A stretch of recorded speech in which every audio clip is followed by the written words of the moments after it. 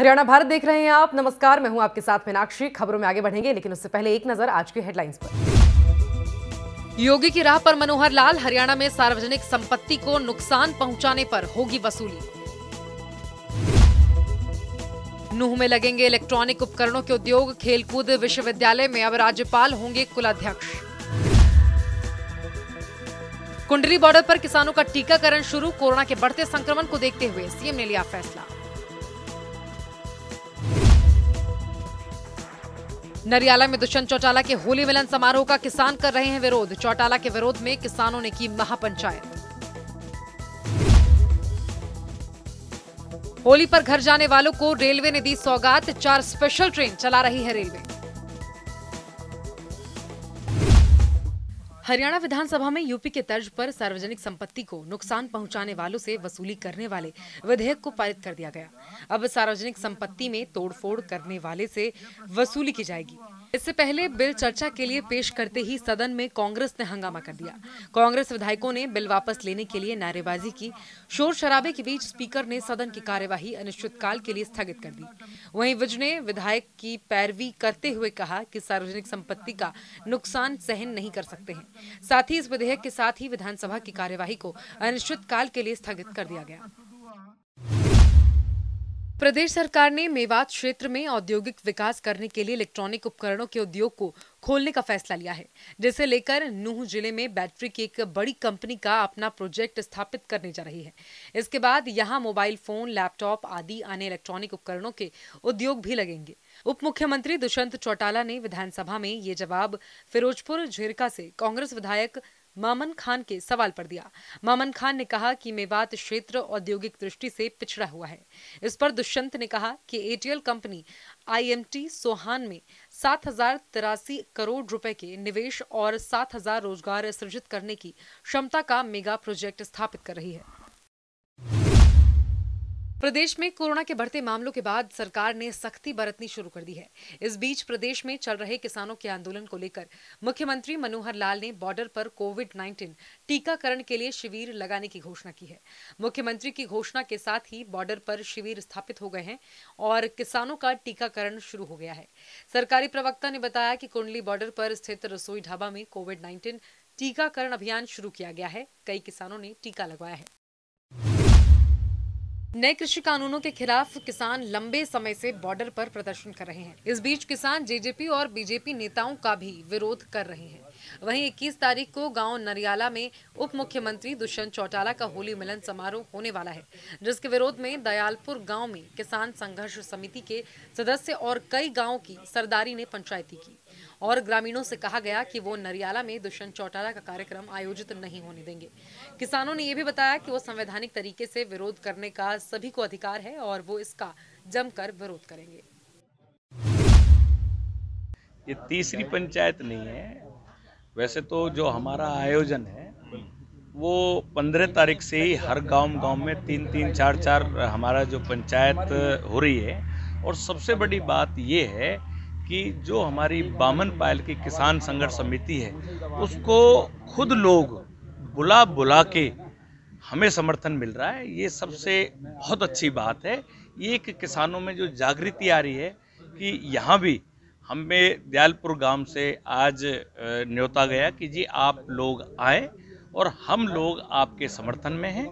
तो किसानों को भारी समर्थन आ, मिल रहा है हम लोगों को बहुत भारी समर्थन मिल रहा है। क्या कार्यक्रम रहेगा इक्कीस तारीख इक्कीस तारीख को बिल्कुल ये कार्यक्रम रहेगा कि हमारा एक ही बात है कि जहाँ किसान रोडों पे है जहाँ किसान के लिए रोजी रोटी नहीं है रोज़गार नहीं है उनके बच्चों के लिए उनकी किस बात की होली, किस बात की होली मिलन, क्या उनकी दिवाली?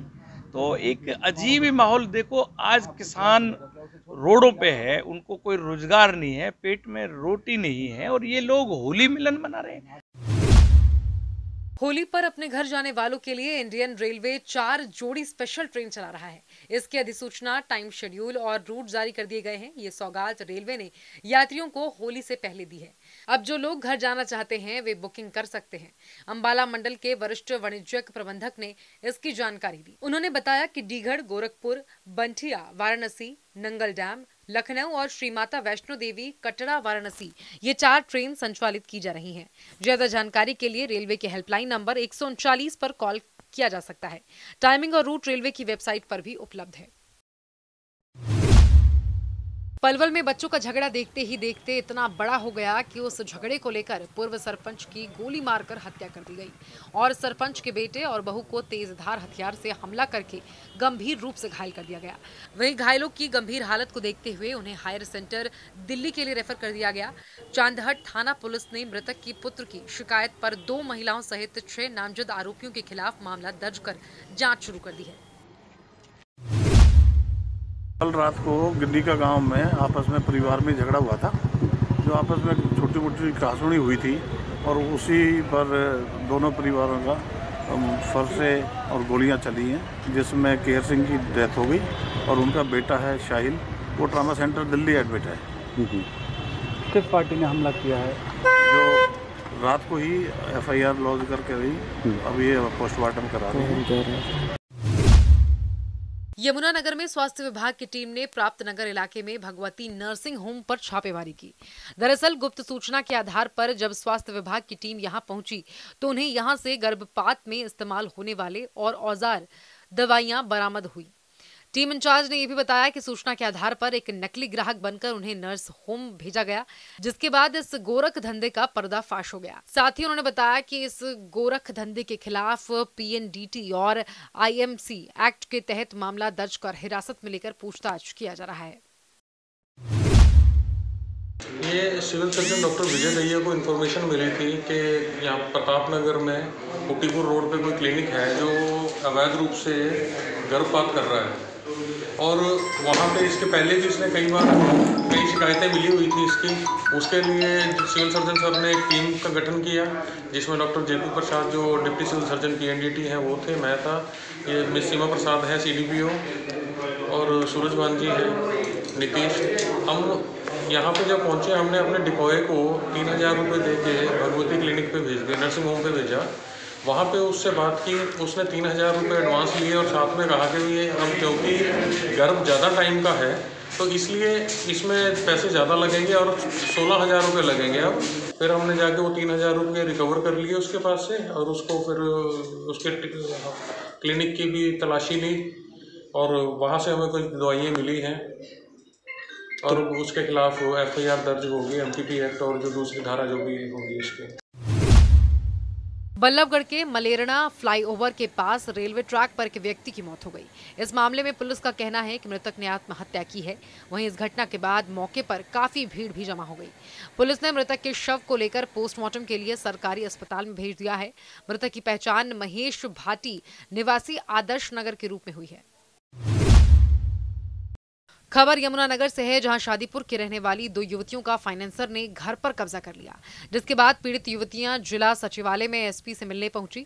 शादीपुर में रहने वाली सुनीता नाम की युवती ने बताया कि कुछ महीने पहले उन्होंने हरजीत से एक प्लॉट खरीदा था, जिसकी दो लाख चालीस हज़ार में डील हुई थी। दो लाख तीस हज़ार रुपए का भुगतान उन्होंने उस समय कर दिया था, जबकि कुछ पैसे उसके बकाए थे। और बलदेव नाम के फाइनेंसर से उन्होंने पैसे उधार लिए, लेकिन उसके एवज में कुछ महीनों बाद बलदेव ने धोखे से इस मकान की रजिस्ट्री अपनी पत्नी के नाम करवा दी और इस महिला से कोरे कागज़ पर साइन करा लिया। हमारे पचास हज़ार का थी और दो जोड़ी कानों का था, दो पचहत्तर थे जोड़ी का। और बहुत सामान पच्चीस हज़ार का गोदरेज उन्होंने तोड़ दिया और फ्रिज और अनबारी सारे। उन्होंने जिन्होंने कब्जा किया वो क्या कहते हैं कि हम आप तो रहने नहीं देंगे यहाँ? अब आप कहाँ रह रहे हो? हम तो बस वैसे रह रहे सड़क पर सड़क पे बैठे हो। एसपी साहब ने क्या कहा आपको? एसपी साहब ने कहा जी सख्त से कार्रवाई होगा शाम तक। तारीख को इनके मकान पे ज़बरदस्ती कब्जा किया गया। इन्होंने हमें फ़ोन करके बताया कि हमारे मकान से सामान हमारा फेंक दिया और पैसे इनके पास कुछ कमेटी के आए थे। इन्होंने कमेटी डाली हुई थी। और वो पैसे भी उन्होंने इनके अलमारी में से तोड़ के निकाल लिए कुछ गहने निकाल लिए इनका सामान बाहर फेंक दिया फ्रिज और एलसीडी तोड़ दिया। अभी भी उनका कब्जा उस मकान के ऊपर इन्होंने पुलिस को इन्फॉर्म भी किया और उस टाइम एस एस साहब को भी इन्होंने खुद फ़ोन किया इन्होंने अपने नंबर से फ़ोन किया था आपने। और उसके बाद एसपी साहब के कहने के बाद उन्होंने एक एफआईआर जो दर्ज करी उसमें मकान मालिक किराएदार का मामला दिखा दिया जबकि मकान मकान मालिक नहीं है वो बलदेव राय मकान मालिक तो ये है झूठी रजिस्ट्री का कोई ज़िक्र ही नहीं कर रहे उसमें वो पुलिस। हरियाणा की तमाम खबरों के लिए आप बने रहिए हमारे साथ और देखते रहिए हरियाणा भारत। नमस्कार।